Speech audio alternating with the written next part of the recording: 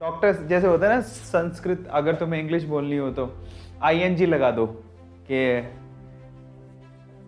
अंग्रेज़ी बोलने क्या करते हैं?